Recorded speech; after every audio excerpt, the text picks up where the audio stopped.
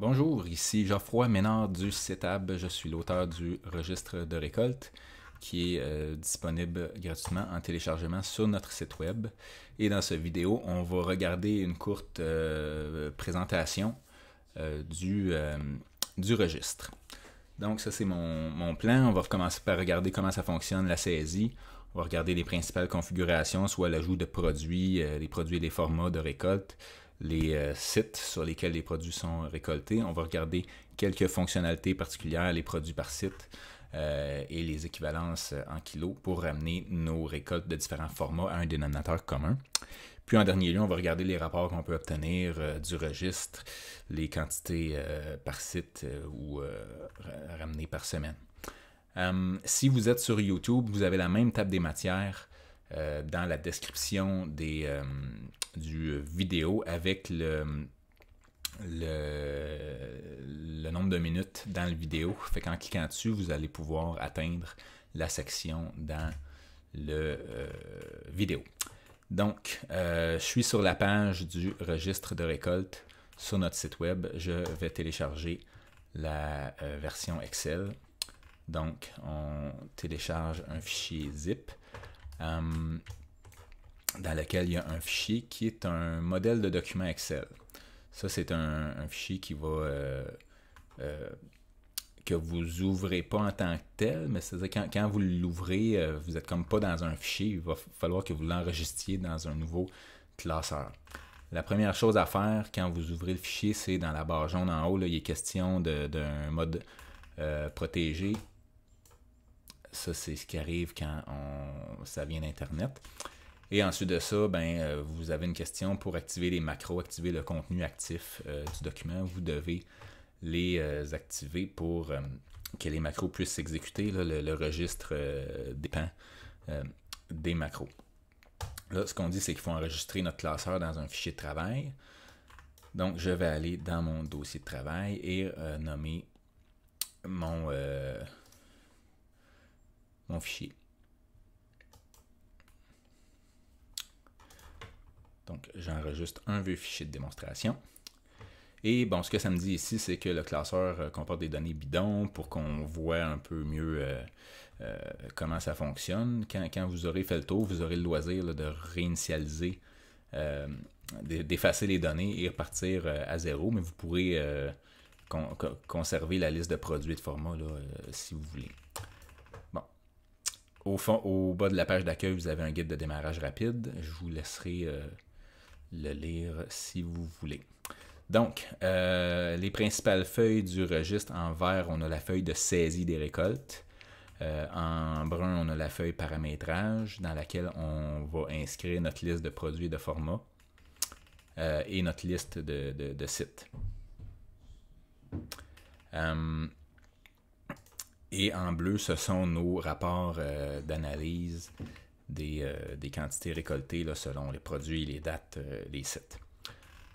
Donc, euh, pour faire la saisie, ici j'ai un, exemple avec quelques centaines de lignes saisies. vous avez un petit raccourci ici pour aller en bas. Et pour essentiellement, quand on a nouveau, une nouvelle récolte, une quantité de quelconque produit à récolter, on va ajouter une nouvelle ligne.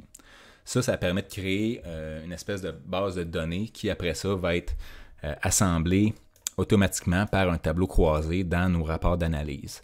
Donc ça, ce sont des, euh, tableaux générés automatiquement par Excel, par la fonction des tableaux croisés dynamiques, qui affiche euh, finalement un compte rendu, une, compilation des données de cette feuille-là. Donc tout le travail de saisie se fait là-dedans et non pas dans les différents tableaux bleus. Il y a vraiment une seule feuille pour toute la saisie des données. Donc, quand on saisit une nouvelle récolte, on peut le faire à la main comme ça en ajoutant une nouvelle ligne. Euh, ici, j'ai fait CTRL point virgule, qui est un raccourci pour ajouter la date d'aujourd'hui. En deuxième lieu, on a le site. Donc, on va identifier euh, le site dans lequel notre produit a été récolté.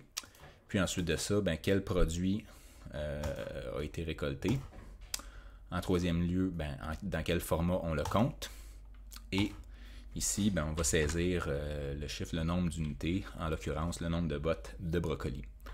On a euh, un bouton ici pour ajouter une ligne. Il va automatiquement rentrer la date d'aujourd'hui. Euh, on, saisit le site.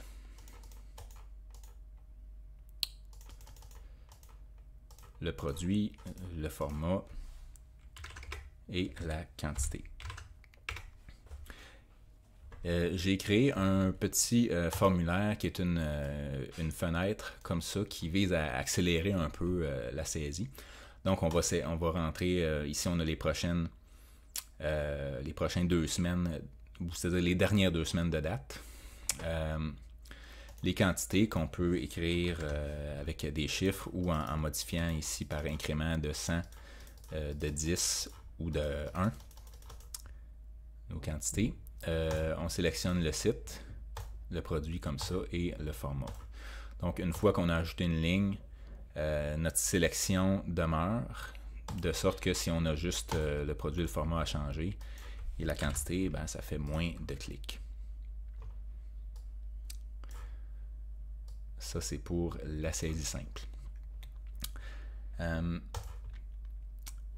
maintenant, pour déterminer euh, notre liste de produits qui est disponible ici, notre liste de formats pour chaque produit et les différents sites, il faut les indiquer dans la feuille paramétrage dans la liste des produits et formats ici.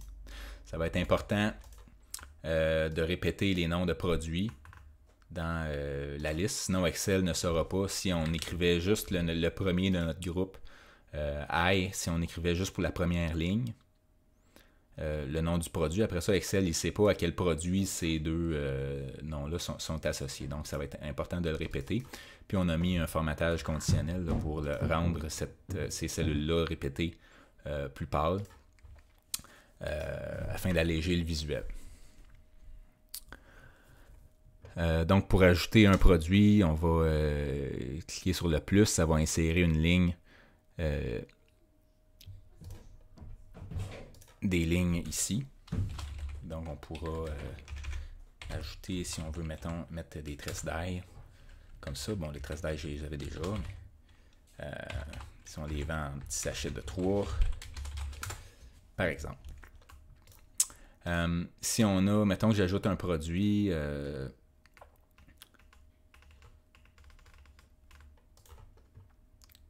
que j'ajoute un produit dont j'ai trois formats différents, ben, je sais que je vais avoir besoin de trois lignes. On peut utiliser le plus avec un N ici, spécifier le nombre de lignes qu'on ajoute. Pour supprimer des lignes, on utilise le X rouge. Euh, on peut trier notre liste en un clic comme ça. Euh, et ça va être important si on veut renommer un, euh, produit pour lequel on a déjà des récoltes de saisie. par exemple, si on voulait, mettons qu'on se met à introduire des carottes d'une autre couleur, puis on veut séparer en couleurs, ben, je vais vouloir renommer celle existante carotte orange c'est important d'utiliser cette fonctionnalité-là pour qu'elle aille changer également l'historique. Euh, là, mes carottes ont été renommées pour orange. Si on ne veut pas changer l'historique, on peut changer tout simplement dans la, liste ici de produits et formats. Ça va affecter nos listes déroulantes, mais pas euh, l'historique déjà saisi maintenant, euh, les sites, bon, même principe, on peut euh, ajouter, supprimer des sites avec les petits boutons ici.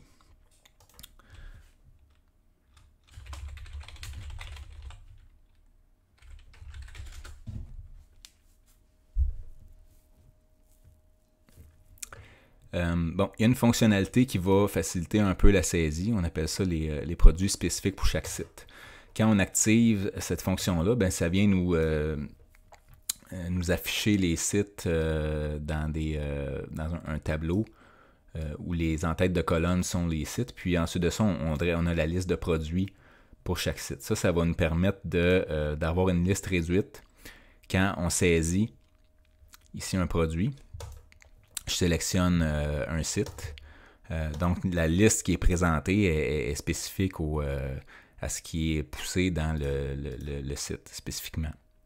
Euh, fait que ça permet que la, liste de produits, là, euh, au lieu d'avoir une seule liste comprenant tous les produits de la ferme, on a une liste limitée à ce qui est cultivé pour un, site donné. Euh, c'est la même chose pour les menus déroulants. Ici, j'ai ma serre sélectionnée. Ben, ma liste de produits là, que j'ai est limité aux, produits cultivés en serre. L'autre fonction va nous servir à ramener toutes nos récoltes de différents formats à un dénominateur commun. Pourquoi? Parce que si on veut avoir une, euh, quand on fait nos synthèses de quantité récoltée par produit, ben là, on, a une déclinaison du nombre de récoltes par différents formats. Mais si on voulait ramener ça en une seule quantité globale pour le produit, ben, il faut, euh, faut qu'on ait un dénominateur commun. Donc, ce qu'on propose, c'est le kilo. Euh, et pour faire ça, ben, il faut ici dans la liste que chaque format ait son équivalent en kilos d'identifier. ça, va être le poids moyen, euh, dans le fond. En, calculant le nombre euh, de tresses d'ail multiplié par leur poids moyen, ben, on va obtenir euh, un 1 kg. Si on active cette fonctionnalité-là, on va dans, la saisie, on a une nouvelle colonne avec une formule dedans qui va aller identifier pour, pour chaque produit, qui va calculer le nombre de kilos le nombre de, kilos euh, auquel ça équivaut. Donc, par exemple, euh, je peux en trouver un qui est bien paramétré.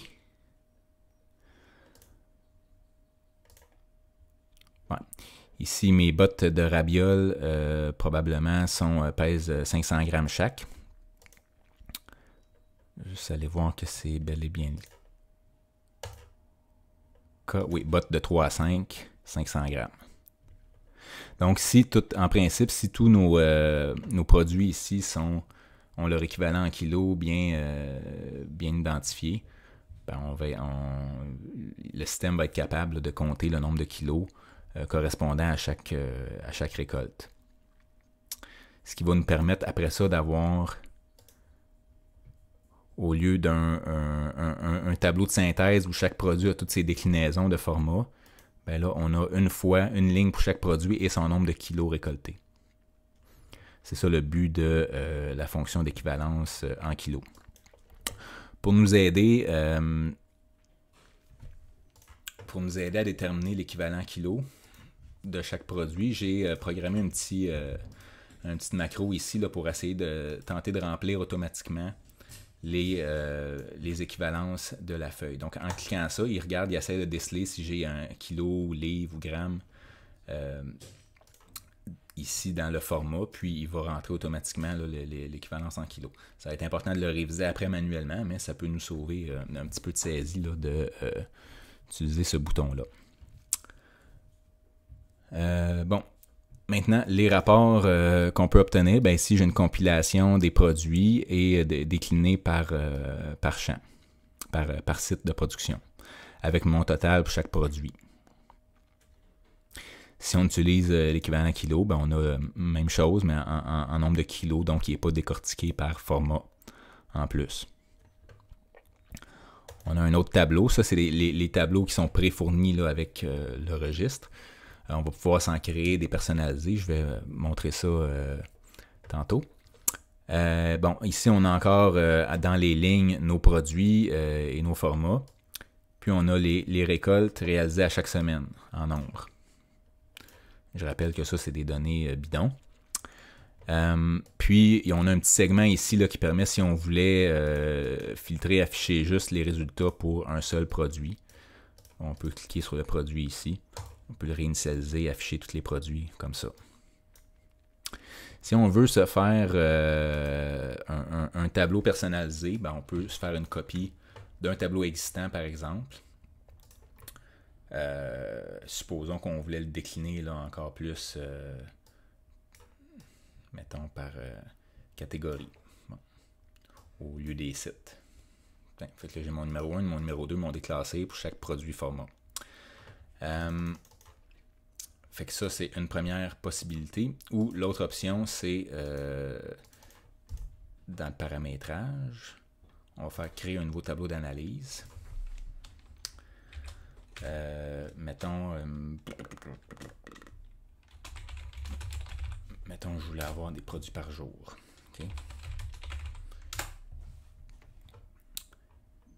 Fait que la première affaire que j'ai rentrée, c'était le nom complet qui va être affiché en haut, puis en deuxième lieu, le nom euh, de la feuille. Et là, ce qu'on nous propose, c'est un assistant qui va nous monter notre tableau à partir de, petites questions. Donc, qu'est-ce qu'on compte? C'est la quantité de, format ou la quantité en kilos? on, va, euh, on va prendre les formats. Euh, donc, dans les lignes, je veux mes produits et formats. Puis, dans mes colonnes, qu'est-ce que je veux? Ben, je pourrais mettre mes semaines.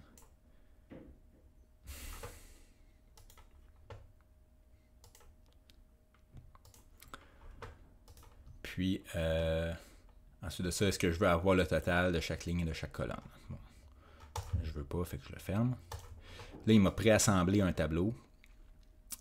Chaque colonne est un peu large, donc le moyen le plus rapide de faire ça, c'est toutes les sélectionner, les réduire comme ça. Puis ensuite de ça, je peux juste rallonger mes colonnes produits et formats. Donc là, je les ai par semaine j'ai mes colonnes en, semaine. Je rappelle que ça, c'est les tableaux croisés dynamiques d'Excel. Euh, je vous invite à vous renseigner sur cette fonctionnalité-là si vous ne la connaissez pas. Le registre de récolte étant assez simple, c'est un bon, euh, un bon classeur avec lequel s'exercer à utiliser cette euh, fonctionnalité-là. Donc, je peux mettre mes dates dans les colonnes comme ça. Lui, il me les regroupe par, par année. mais je peux lui dire, garde-moi juste vraiment les dates. Puis là, il faut cliquer sur dissocier. Et voilà, puis là, j'ai mes dates individuelles, ce qui est quand même euh, assez peu fonctionnel étant donné qu'on a énormément de dates. C'est pour ça qu'on va privilégier de les regrouper, euh, les regrouper par semaine si on veut voir une déclinaison de nos récoltes euh, dans le temps. Mais c'était pour vous donner un exemple de création de tableaux personnalisés. Euh, une autre chose qu'on pourrait vouloir faire, par exemple, c'est euh, les décliner après les formats en, variété, euh, ou plutôt entre les produits et les formats. Puis là, je pourrais vouloir rajouter un segment comme ça pour venir afficher un seul produit à la fois. Pour enlever mes sous-totales, je fais un clic droit dessus. Euh, l'aubergine, c'est un beau, euh, un bel exemple dans lequel j'ai plusieurs euh, variétés. Donc, j'ai ma déclinaison là, en, termes de nombre d'unités récoltées par variété.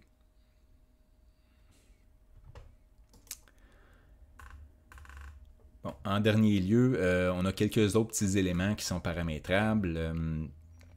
Euh, ça, ça va faire en sorte que quand on rentre dans la feuille de récolte, ben, le formulaire de saisie est affiché automatiquement. Donc, on n'a pas besoin d'aller cliquer sur le bouton ici. Si on fait uniquement notre euh, saisie par le formulaire, ça vaut la peine de le garder activé.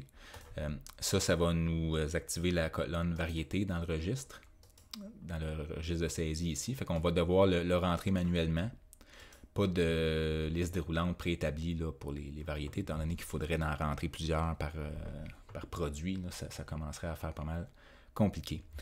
Euh, si on utilise le formulaire, la variété est à rentrer dans le coin euh, inférieur droit. Catégorie de classement, même chose. on, a, un tableau ici, cependant, le numéro 1, numéro 2, ça, ça va nous donner une petite liste déroulante ici ou euh, une liste de sélection dans notre formulaire. Euh, actualiser, automatiquement les rapports à l'ouverture de la feuille, ça c'est pour les rapports d'analyse de vente. Euh, ce qui arrive, c'est quand on modifie la source de données, dans ce cas-ci le registre de récolte ici, pour un tableau d'analyse, ben, il ne va pas se mettre à jour ce qui est affiché ici, la compilation, elle ne va pas être à jour en temps réel. Euh, normalement, si on a l'option dans le tableau croisé d'activer, il va le faire, euh, il va l'actualiser à l'ouverture du fichier. Mais là, ce que j'offre, c'est une macro qui va faire en sorte que quand on rentre dans la feuille, ce que je viens de faire, quand on rentre dans la feuille, le, tableau va être mis à jour de sorte qu'il va être pas mal tout le temps euh, à jour là, à chaque fois qu'on va dans la feuille. Autrement dit, si on a fait des saisies dans la même journée, euh, puis qu'on va consulter notre tableau récapitulatif, ben, on est sûr qu'il va tenir compte des saisies de la journée. Euh, option de date, ben, c'est juste le, format d'affichage euh, des dates. C'est ce qu'on voit ici. on peut mettre un format personnalisé si on veut. Mettons qu'on voulait avoir jour, mois, année à deux chiffres. on peut le faire comme ça. premier jour de la semaine, ben, c'est étant donné que les, numéros de semaine sont affectés aux, dates, ben, est-ce qu'on veut que le dimanche soit affecté à la semaine qui vient de passer ou la semaine suivante? Donc, si on veut qu'il soit affecté à la semaine euh, qui vient de passer, on va devoir mettre le lundi comme premier jour de semaine et non pas le dimanche. Le dernier petit feature, c'est un backup automatique. La façon que ça fonctionne, c'est qu'on vient spécifier dans quel dossier on veut le mettre ici. Euh, ça prend un dossier local, ça ne marchera pas avec SharePoint si vous utilisez le cloud, SharePoint ou OneDrive. Euh, donc, quand on fait un backup, vous voyez, je fais une copie de sauvegarde maintenant. là, il me confirme ici qu'il a fait une copie du fichier dans mon dossier de backup pour mon, fichier de backup, euh, il prend le nom du fichier actuel, il ajoute un barre en dessous backup, euh, barre en dessous la date et l'heure. Euh, donc on peut faire des backups régulièrement en un clic, là, puis on est sûr que si notre fichier devient corrompu ou qu'on perd, qu'on perd des données dedans, on peut retourner dans le passé.